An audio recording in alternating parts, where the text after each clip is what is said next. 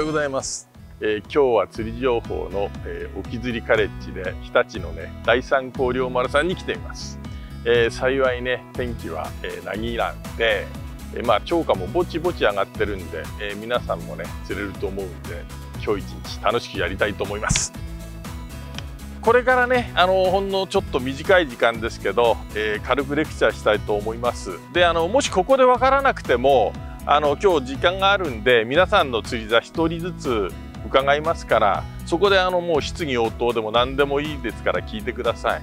まあ、今日ねあのまず簡単に、えー、船長から事前に聞いた情報ですと天野は5号から8号ぐらいがいいという水深が10から30メーターぐらいっていうことでで幸いあの今日なぎます海だからあの非常に釣りやすい状況になると思います。で、えー、っとまずね必ずえー、っと、天野がね、そこにつく、底立ちをまず確認してください。ちなみに、えー、っと、今日天野初めてだっていう方いらっしゃいますか？お二人。はい。え、っと、後の方は、あの、一応底立ち、わかりますよね。わかりますよね。はい。あの、やっぱり底立ち感じないと、あの、この一つ天野の釣りっていうのはどうしても成立しないんで、まずは、あの、底立ちを確実に取ってください。ですからあのそのために、えー、もし自分のお使いになる天野が軽くて底立ちがわからない、えー、分かりづらいっつったらその場合はもう遠慮なく重い天野にしてみてください。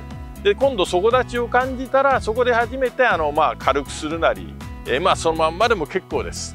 でこの天野もあのね軽いから食う場合と、えー、重いから食う時とやっぱ千差万別なんですよ。で大体あの水深かける、えー、2倍のね、えー、号数。例えば20メーターですと4号ぐらいっていうのが適正天野のね、えー、重さなんですけどでそれすら最近どんどん崩壊してきまして、えー、たとえ20メーターでも8号10号の方が良かったりっていうのがあるんでやっぱりなかなかあのね魚が生きてるんでそこにたどり着くとまではねいろんなことがあるんでその辺はもう臨機応変にあの構えてください。ただ一つあのどうしても今日多分パラシュートアンカー入れるのかな、えー、その場合あのどうしてもですねとんでもない軽い点や、えー、極端に重い点やを使うと他の方とあのお祭りをするね恐れがあるんでそこだけ気をつけてください。もしあのラインが自分のラインが皆さんとね一緒の方にあの綺麗に向いてればいいんですけど自分のラインだけあの横にね流れすぎたり例えばまっすぐになったりっつったらあちょっとこれあの自分の点野が合ってないかなって例えばあとまあお祭りがね頻繁に起こるようでしたらあのー、やっぱりちょっと点野が合ってないと思って、えー、まあ軽くする。えー、っとまっすぐ糸がね、えー、いってる場合でしたらちょっと軽くしてみてください。であまりにも糸が横に飛んでるようでしたら重くしてみてください。どうしてもあのねえー、せっかく釣りに来ててね、えー、お祭りしてあの釣りにならないっていう場合も多々あるんです。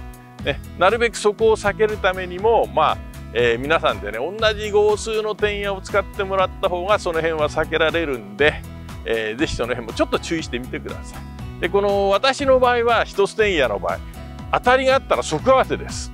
もう例えばピピって何か感じたらもう合わせていただいて大丈夫です。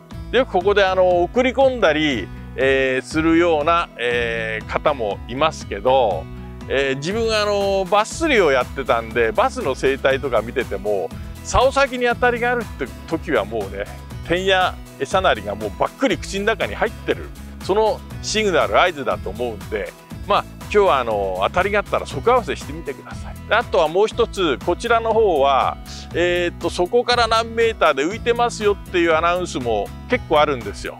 その場合は一応試してみてください。でそれが正解かどうかっていうのはやっぱり、えー、現場行かないとわからないんでただ大方中でね映ってんのやってくださいっていう場合は花台が多いですね。えー、にドンっていうのもありますけど結構花台の群れの方が浮いてて多いっていうのがあるんでまあその辺も今日ねチャンスがあったら見極めてみてください。あとはもうねフォールのあたりとかまあいろんなね、えー、バラエティーな当たり方が出ると思います。で一番面白いのはねやっぱりあのポールで糸がね、えー、天矢がそこについて糸吹けが出る前に止まっちゃうーんこれがね最近めったにないです昔はねこの頻繁にあったあたりなんですけどなかなかあのないんですけどまあ一応一番ね釣りやすい状況がいわゆる天野がフォールしていく時にタイが見つけて追っかけてそこに着いた瞬間に食いつくっていうのが一番多いです。ですからあのー、まあそうですね。だいたいまあ5回時間にして長くて23分で当たりがなかったら頻繁にどんどん入れ替えていった方がもうこの天野のね、えー、釣りは有利です。やっぱ同じところでずっとやってると、えー、それだけあのー、もう魚がね見つけにくい状態になりますからやっぱりその場合はちょっと入れ替えてやるだけで、えー、魚が見つけやすいんでこれは結構ね何の釣りでも共通するんですけどね。やっぱり同じ場所でずっとやってるよりも入れ替えて、えー、新しいところに天野を落としてやると、ね、この方があの発見されやすくて、えー、魚も釣りやすい状況にあると思うんで是非その辺ちょっと試してみてください。はい、一つ天野の場合は、えー、まあメ感度ありね手感度あり。ただ、えー、この柔らかいね竿なんで、えー、ほとんどねメカンドで取る方が多いですね。ですからそのためにも必ずあの底立ちを取ってから、えー、リフト。ねこのリフトの時と底立ちしたフォールの瞬間のいわゆる天野がそこについてちょっと浮き始めるっていう時が一番当たり多いです。ですからもうなんかふぶって感じたら合わせてください。よくあの大きい鯛ほど当たりが小さいっていうね、え偶説がありますけど全く関係ないです。大きいのゴンってねいきなりあのひったくるような当たりで大きいのをかったりするんでまああの何しろ感じたらひとまず即合わせと。ね。であのあんまりね思いっきり合わせる必要はないです、まあ、大体当たりがあったら軽くこの程度の合わせでもうあの今のタックル設定だとかかるようになってますんで。でドラッグ設定だけまあえー、っと今日サイズは、まあ、大きいのをポロッと混じると思うんで、まあ、1キロ未満。でこの辺もあの心配だったら皆さんのところ回る時にねあのちょっとチェックさせていただきます。いつもあのね私はあのメカンドでやってるんで1回測ったら800ぐらいでしたけど。あとはまあね、えー、その場で小さいのが多くて早くあげたいななんていう時はちょっと閉めちゃった方が良かったりもするんで試してみてください。あと,、えーと、ゲストでねいろんな魚もかかると思うんですけど、えー、まあ大台はかかれば経験すれば分かります。恐ろしいあの引きと、えー、手応えがね感じられます。青物とかはもうただダーダーダーって持っていくだけなんですけどタイだとほんと三段引きっていうゴンゴンゴンゴン。でこのゴンゴンのやり取りで最後は止まるんですよ。不思議と。たらもうね大台だって確信してみてください。あと不思議とねあの船長とか周りで見ててもすぐ判断してくれますんでもしね大きいのかかったらあの私なり中則さんもいると思うんであのすぐアドバイス駆けつけますんで、ね、ゆっくりやり取りしてください、ね、せっかくあのね一緒に何度もないチャンスだと思うんでねそういう時はもう大事に、ね、自信を持って、えー、決して弱気にならないようにね、あくまでも強気で対応した方がいいです。弱気であの対応してばらしたことも何度もあるんで、もう今は常に強気で対応して、たとえばらしてももう悔いのないようにと思ってやり取りしてますんで、ね、それもちょっと参考にしてみてください。じゃあ皆さん餌の袋開けて水に浸して溶かしてください。つ抜けはしたいですね軽く型さえねいいのさえ混じればいいんですけどこればっかりはねこっちが実は選べないんですよ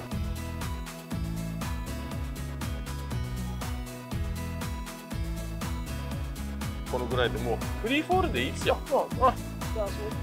そう。であのー、か早すぎる早すぎる、はい、タイミングが。もうこれ当たってんじゃない？今当たりました、うん、当たってんでしょ。かかってる？かかかってるかかってる。今もうあれ当た何が起こったのか分からないですけどね。当たってたから。さあこれが何だろうな獲物が。外れた？たっぽいですねかかって当たってたもんね。当たってたパパパパパパパパってちょっと当たりあの合わせがなかった。残念です。残念です、うん。あのちょっとねはい。もうちょっとねステイをした方がいいです。リフリフトの後。うん。はい。その場で。はい。12345最低5秒ぐらいはリフトの後ステイしてください。今もう、早かったでしょ。はいはいあ、まあ、当たり出ましたけどね。はい。それが良かったかなとか言って。はいちょっとねそうすればあのちゃんとステイしてる時に当たればもっと正確に合わせが効くと思うんですよ、今ちょっとこう早すぎたから当たりが出てもなんか合わせも中途半端だったと思うんで,、はい。でそこ立ちがもう大チャンスですからね。こんだけ魚がいるから。大体ね、えー慣れてくればもう赤の次につきますから。そこにで構えてて追いついたそうそうもうすぐ素早くはい。当たってる当たってる当たってる。合わせる。合わせが全然弱い。弱い。もっとねいいですか？合わせがこうなんですよ。ね。今もなんか来た。もっと合わせっていうのはももしか例えこれ当たったらねこのぐらい。さっきの合わせじゃなくて上げてる状態なんですよだからもうちょい当たったら当たったっつったらシャープにじゃないとかかんないです。もし投げるのもこれよりもちょっと貸していただいていいですか？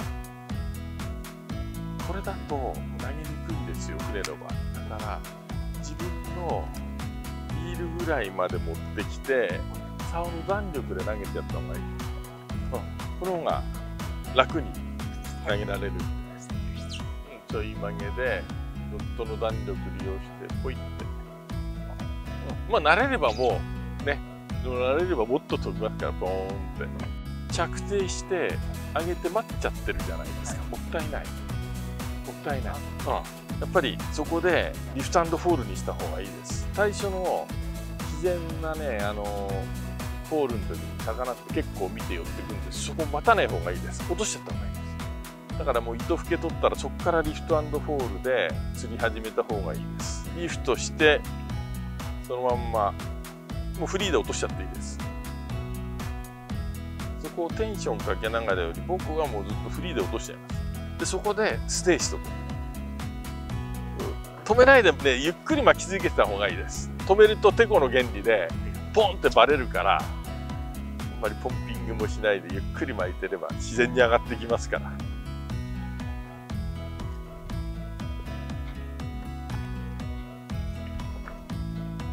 さあお、おきめ丸ちゃん。抜いちゃいましょう。いいです、いいです。全然いいです、問題ないです。あ、抑えないで。あの、よっぽど潮が速くて、糸が吹けたりした時は、ちょっと途中でサミング入れてラインを立てた方がいいですけど、今日の状況なんか全くいらないです。はい。例えば、バーってこうなったりしたら、ちょちょっと押さえて立ててやんですよ。あって流れてって隣の人の方まで行っちゃったらちょっとサミングして戻してやる。そういう状態の時にサミングしてやるぐらいでいいです。今日なんかはもうどんどん落としちゃった方がいいです。そんな素直でまっすぐ落ちてるんで。はい。えーね。えー朝から一通り皆さんのところ回ってきたんですけど非常に今日ねあの当たりは出るんですよ。ただ当たりの犯人がちっちゃいんですね。どうしてもあの小さなマダイ、えー、花鯛ベラ、ね、その辺なんでちょっと針がかりがね悪いんですけど、まあ、でも当たりがあるってことはあの非常に練習、ね、今日一応カレッジで、えー練習にはね最適な状態、まあ、かける練習。で大方見てやっぱりねあの合わせが非常にね皆さん弱かった。あとはフォールの時あのちょっとワンワンをしてスローにえーテンションかけすぎたりする、ここでも当たりは出るんですけどどうしてもね見破られるんですよ。あとポジションね合わせられるポジションじゃないんでどうしても当たりが出ても半合わせ引き合わせ状態になってしまうんで、まあ、今日一通りあの今見てきて一応合わせられるポジション。できちんと合わせてくださいっていうのを、えーアドバイスしてきたんで、えーこれからねまだまだね時間たっぷりあるんで楽しみです。さてここからちょっと自分で検証してみます、ね。えー、それではねまず餌付けからいきますね、えー、餌付けは尻尾をカットしましょう。でこれハサミ使っても手でもどちらでも結構です。まあ今ねハサミが持ってるんでハサミでやってますけど爪で切っていただいても結構です。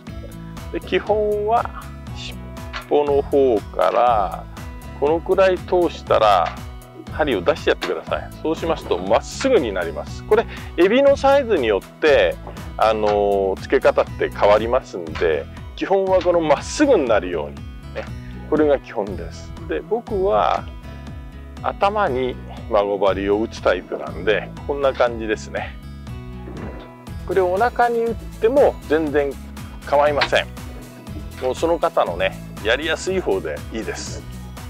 まずね、えー、釣りいよいよ始めるんですけど今潮がね払い込んでんですね。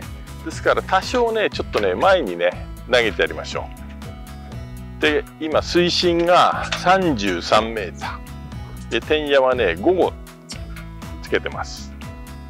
で P ラインは0.85でリーダーが、えー、フロロの2.555メーター。だいたいまあいつもの基本的なねタックル設定です。あとはもう天野が底つくまでずっとフリーで糸を出してまあついたね直後っていうのが一番ね当たりがね出やすい大チャンスなんでここだけねラインを注視しててください。常に。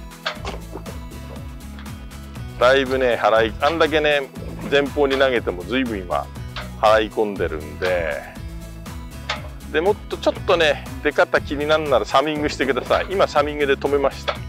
でまた落としてやります。はい確定。素早くね。でここからいよいよ釣りスタート。でリフトフォール。もう当たりなんか当たってる。細かいのがもうすぐすかさず餌に食らいついてきました。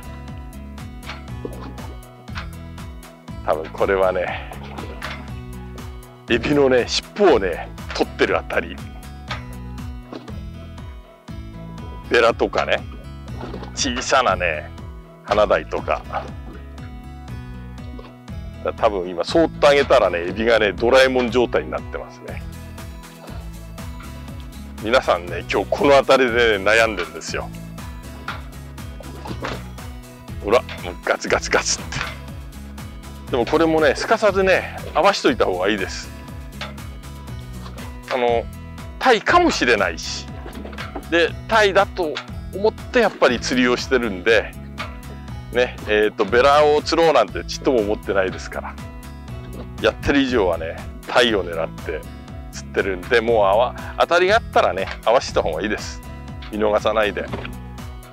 まあ一発上げてみましょう。どういう状態になってるか。だいたいこの辺でね、えー、判断。はい。こんな状態ですね。見事にねバクバクやられました。ただこれは、えー、まあ小さな鯛だと思います。もう一つねえー、とちょっと今ねあんまり当たりがあってかんないしこれちっちゃいなと思ったんで頭をね横につけるって手もあるんですよ。この場合ね針先出しちゃってください。この方が若干針がかりがいいです、こんなんでちょっと今度ねやってみますね。まああの小さいね鯛を花から釣ろうとは思ってないんで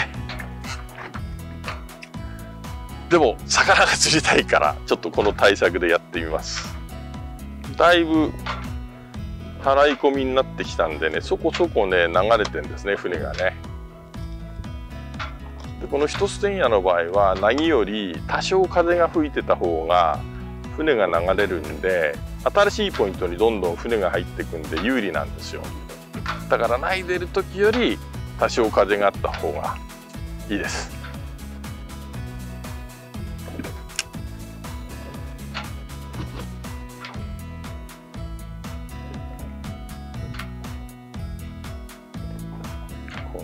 わ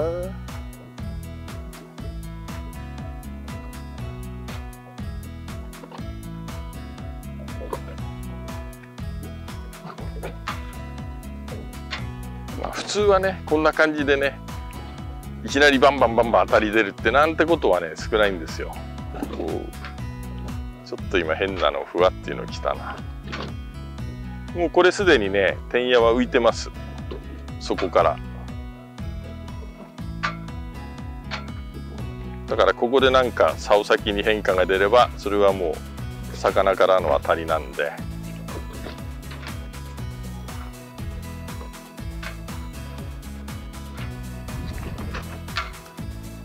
まあ、今日僕はあの探検丸をねセットしてるんで、まあ、魚があのね浮いてるそこにいるっていう判断はちょっとはね有利なんですけど今んとこなんか浮いてるような感じもないんでまあそこをメインに。でこんだけ当たりがなかったらねもう上げてどんどんどんどんね積極的に入れ替えていった方がこの釣りはね有利です。でこの今日水深ね 30m ぐらいだからまあねこのどんどんどんどんこの入れ替え作業もねそんな苦じゃないです。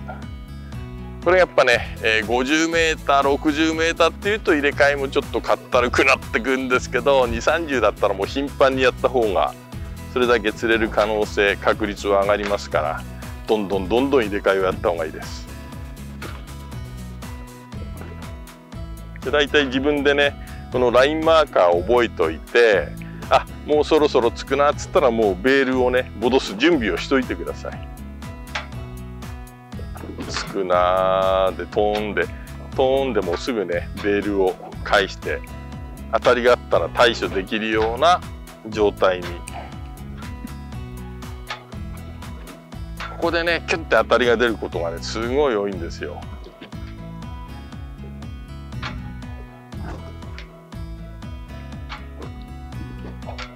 でタイムもしね浮き気味だったらこのしゆっくりね吹き上がって浮いてく天野にどんどんアタックしてくるんでその辺でもねあ今日ちょっとタイが浮いてんのかなとか判断してみてください。であのー、やっぱり吹き上がって全く当たりがない時はねボトムべったりかなって判断もありなんでそしたらちょっと8号とか使ってそこをメインに狙っていくっていうのもこれ手ですからちょっと今度はね、えー、ロングキャストをしてみました。まあこれがね、えー、京都出るか吉と出るかはもう釣ってってみないと分かんないんで。まあ本当にフラットの場所なんでね。まあ、餌が残ってれば広く探れるっていうね、えー、有利な展開なんですけどおそらく、船下まで探ってくる間に餌がね途中で捉えちゃいそうですから。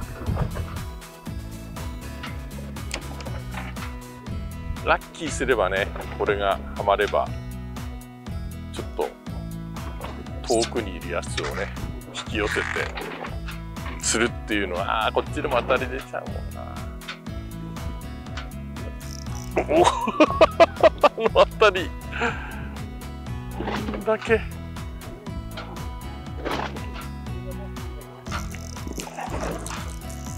こっちかな。一応花鯛かタイマダイか分かんないけどタイです。いやマダイですよマダイあこれが相当ねいるんで横にちょっとね誘ったからそれがね当たりが出やすくてよかったのかもしれないねじゃあ今度はですね、えー、一応来春発売のジャッカルの誘導天野の、え餌付けをねやってみます。まああのー、誘導天野の場合ね針も小さいんで小型のエビの場合は遠慮なくね2匹つけちゃってください、ね、その方があのまあ釣れる確率も上がったりもしますね。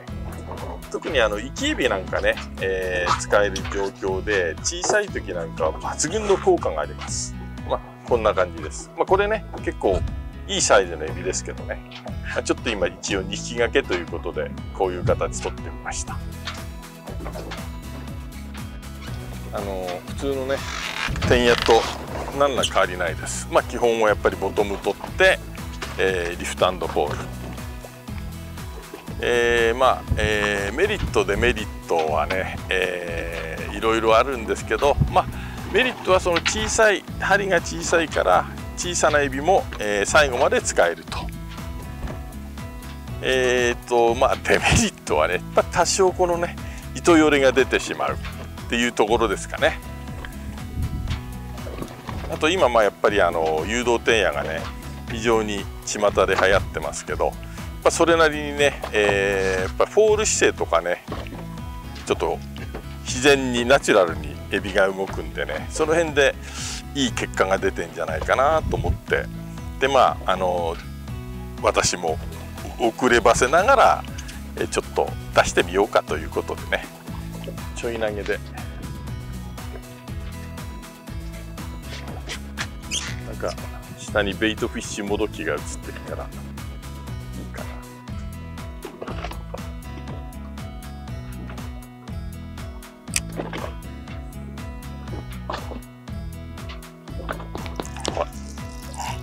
かな今日は。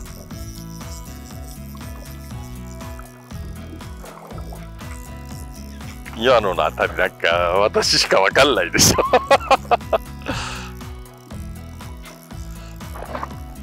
なんだ獲物は。タイじゃなさそうだな。タイだタイだまた花鯛だ。どうしてもあれだそこそこやってっとね。でも食いやすい状態にはなってんのかもしれないですね。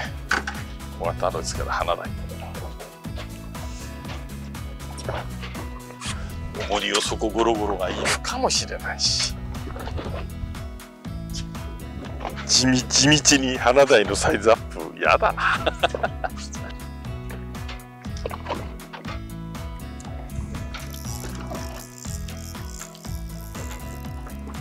ういうことかな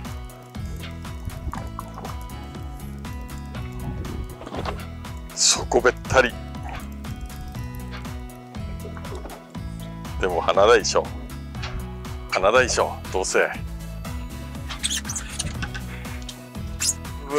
うわうわたらあのコーンって持ってかないですよね。ボトムズルズルズルズルやってるから。だからこうあこうなのな。あこれが今日の当たりなの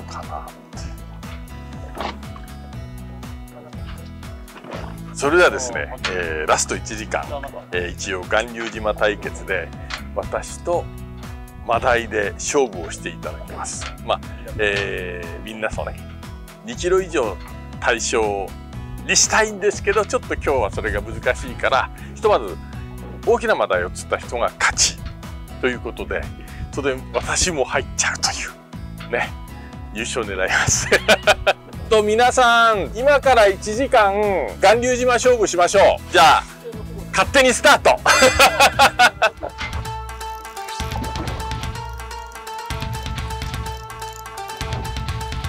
一応優勝候補ですよ。今のところ。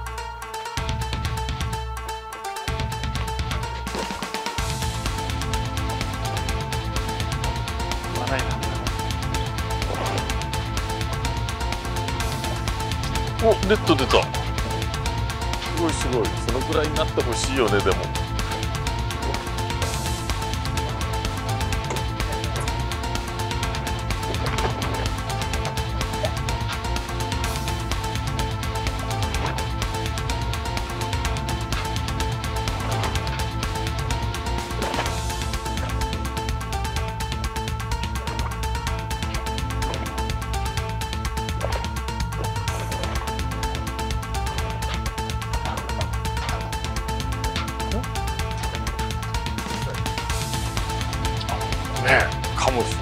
性は。可能性は。あるから。あ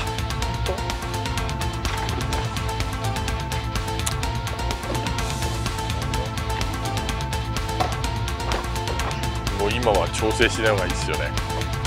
今はいいですねおおおやったー。やったー。うわ。でした。もう腕がパンパンです。えもうそこを入れた途端に、餌がそこについた途端に、もうガツンときました。変野では自己記録です。はい。素晴らしいですねもうねラストね5分前のね展開ですよもう今日ダメなのかなと思ったら。やり取り最初、まあ、遠目で見ててあれ？青物かなと思ったら素晴らしいですねラストのこの水深7か8メーターでこれが来ちゃうっていうこの天野の醍醐味。よかったですね。満喫しましたね。羨ましいですよこれは。うん。おめでとうございました。皆さんお疲れ様でした。えー最後1時間、えー、巌流島対決ガチンコ勝負しまして、えー見事3.2キロを釣られた吉澤さん。おめでとうございますそれでは商品をお使いください。はい。えーとちなみに釣った天野はビンビン天野ですよね。おめでとうございました。えー今日はねなんとかあのちょっと天気がね一番実は心配だったんですよ。雨。でもねカッパも着ないで見てくださいこの快晴。済みましたで、えーさっきも言ったんですけど非常に今日当たりは多いんですけど釣れども釣れどもあの小さい鯛が多かったんですね。ただ皆さんそれなりにね当たりが多くてかからないっていう楽しか楽しみ方はしていただいてえあのうまいことにね全員マダイの方は見てまあ、えー、花鯛マダイ混じってねほとんどの方がまああの10ぐらいをね釣っていただいてるんで、えーなんとかうまくいったと思います。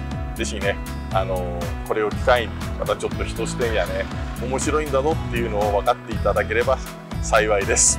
はい。